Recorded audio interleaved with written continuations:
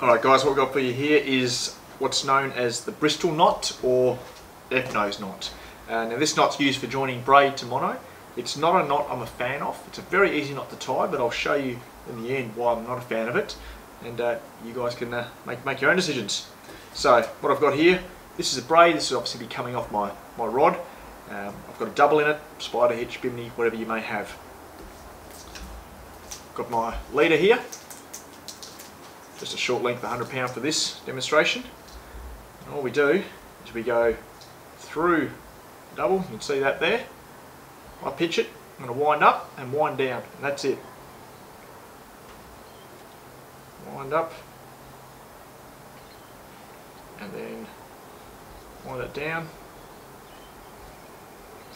With my tag end, I'm just going to go back through the loop. Just pull that up, and you'll see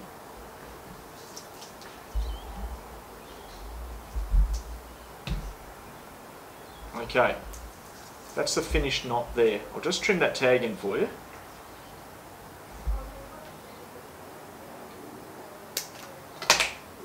Now, looks very nice.